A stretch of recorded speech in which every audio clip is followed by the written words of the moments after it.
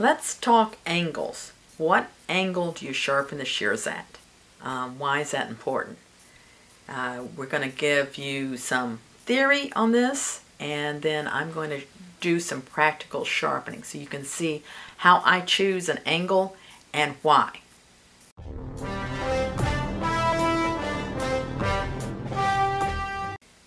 One of the questions I have on the International Scissor Sharpeners Association written test is what is the optimum angle? So the correct answer is 45 because just geometrically, and this is a 45 degree angle right here, is um, if it was steeper, then your shears, the edge is going to slide more, so the hair would slide more.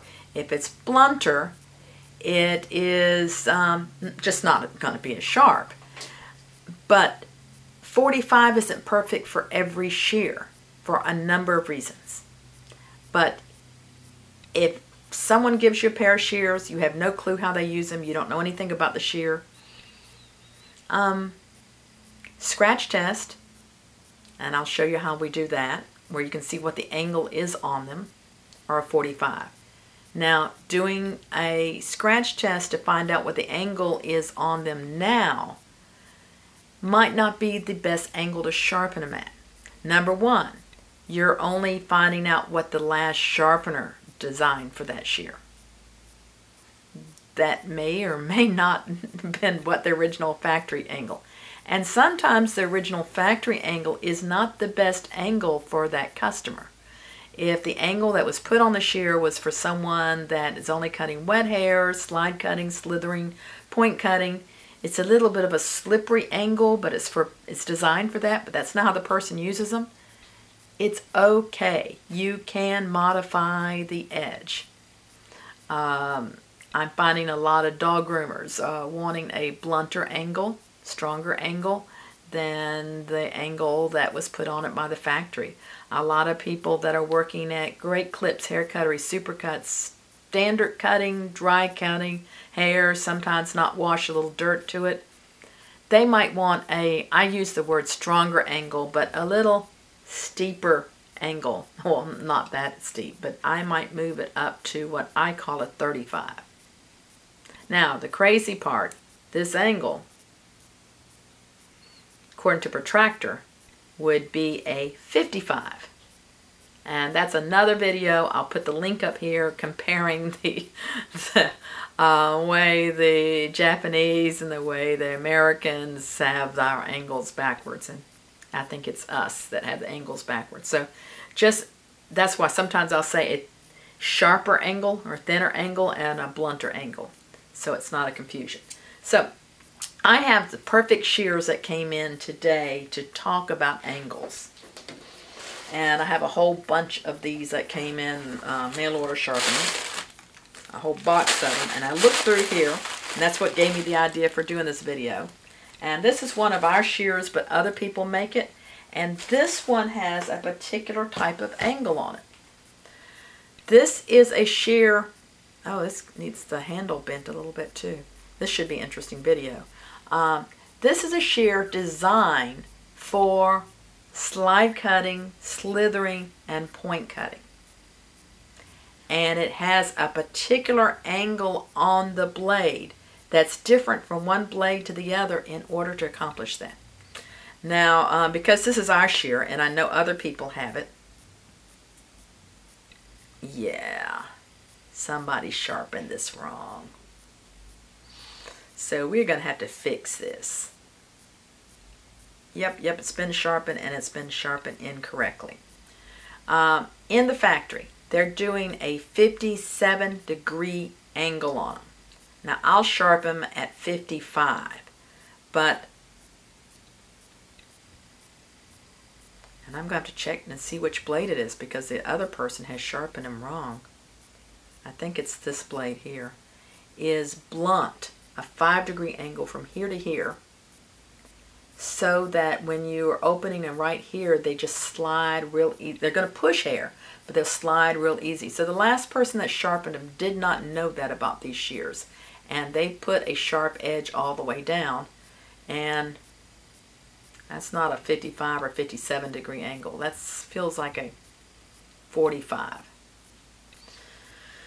So we need to fix these shears. Now how would you know it's one of those shears that's supposed to be blunt in here?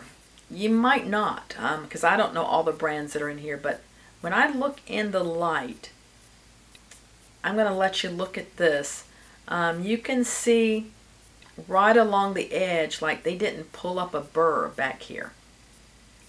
And that's kind of a hint. If you come across a shear, you're, you're putting your, your angle down here and it's just not getting a burr at all back here, you may have one of those shears, especially if it's an expensive shear. Um, don't know any other way other than just make you aware that these shears are out there. I don't know any way to tell you, okay, it's going to be these brands. I've seen, um, we have a Bonika that has that edge. I've seen Sensei, and I'm sure there's others out there. Um, there's another one above that has that. So there, there's probably more. So let me show you what I'm talking about, what I'm seeing that might give me a hint if I didn't know already. So when I turn this shear this way, you can see that looks like that angle is consistent all the way down as a convex edge. When I turn it this way, yeah, there you go. You can see that. You see that? How that angle is, it looks like it's flat and then it's sharp. This was actually up to about here is where it was blunt at five degrees and then it was sharp on up here. So we'll try to fix that today. Alright, so if you have trouble taking these apart, we have a special tool for them that's that size. If not, this is a 3 8 inch and that'll take it out. Might be able to grab it with your fingers too as well. So I can tell the difference. I'm going to put a X here so I know this is the one that should be blunt up to around about in here. So I'm going to make myself a mark.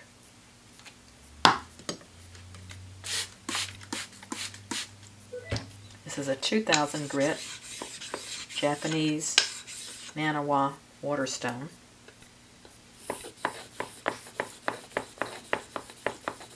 And I'm doing the inside the same as if it was just a regular shear. Checking.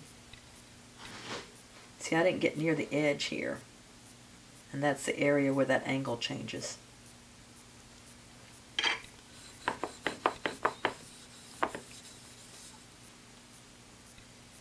But I'm not too worried about this area because it doesn't have to cut well. It's only this part that needs to cut well.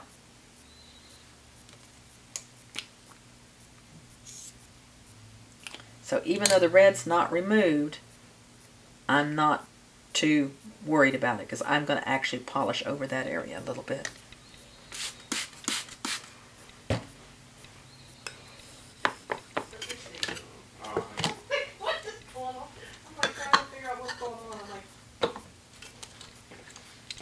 What's going on with the calendar? Look, look at my calendar.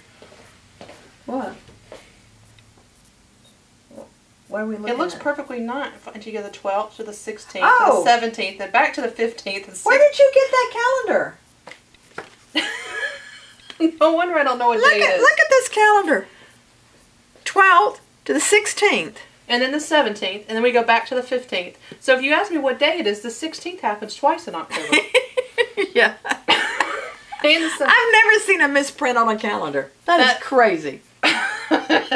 I gotta look and see if it's got it. Now, if it was April Fool's Day, that might be different, but Yeah, no, that's the set the angle at 55 degrees. I know. I was trying to do so. I was like looking at the dates, and I was getting all confused. I'm glad that's not the wall calendar. That's how I decide who's coming for training or what have you. I have people coming two days. Now I made the mark. I'm glad I did that to know where it needs to be sharp. So I've got it set at 55 and this is a convex edge.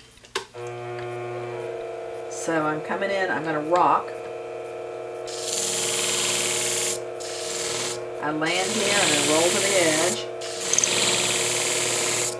I have a feeling I'm not going to get a burr because I don't think the last person did it. Uh, Yeah, I'm getting a burr back here, not at the tip. Can't get a burr at the tip, tilt it down a little bit more.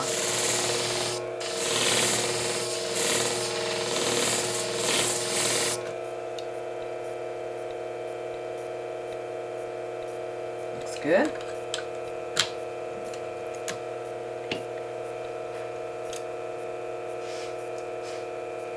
Now this one, I'm only going to work it like here.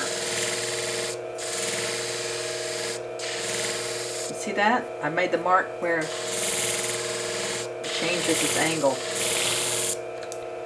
Now normally I tell people to go ahead and put the whole blade on here because they're not going to be able to come up to the edge with the 55 and just don't worry about what hits there.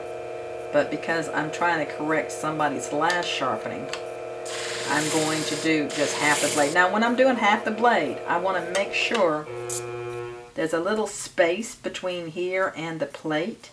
I can actually put my nail under it. Because if I'm touching here and that tips up, then I'm going to end up with a, a scoopy thing. And I don't want a scoopy thing, do I? They're not supposed to be wavy shears. Even though these are called the ocean shears, I don't want any waves on them. Okay, I've got a burr and none back here, which is what I wanted. The burr ends there. And I've taken off enough metal to get out any nicks. Now I'm going to go back and pull my burr off. In the factory in at Jaguar, they used um, thin, like um, cellophane to test it with. Okay, now I want to polish.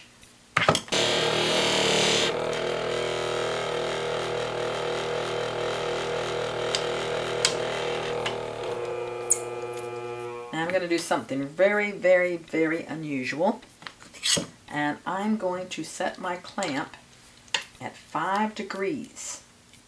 Yep, 5 degrees. As I said, you won't come across these shears very often, but I don't know. They may become very popular pretty soon. I, you know, you, you never know what you're going to find. So I put my X, which almost disappeared, but it's on this shear here. And I'm going to do just in the back, just right here. I want to have that edge up. And I'm going to do maybe a little bit slower.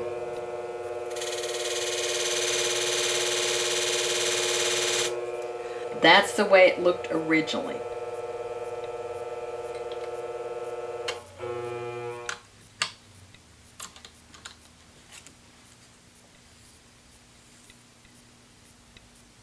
Be a little burr left on it.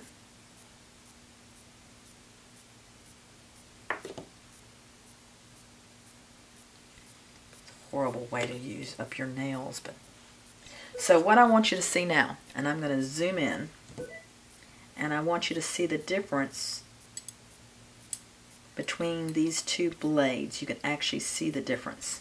Light reflecting off of them. Can you see how this one has like a flat area right in there, and that one does not? That's supposed to be that way. Is it lunchtime? 11:30. Okay, let me let me put these shears together. And then we'll go to lunch.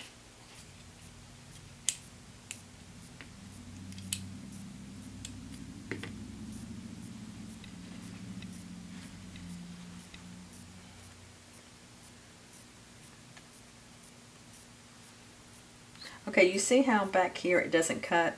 That's okay. It's supposed to cut from here at the middle down. Yep, okay. Now let me show you what I mean about them slide cutting. So if I had some hair, they're going to slide beautifully back in here. Just very, very smooth.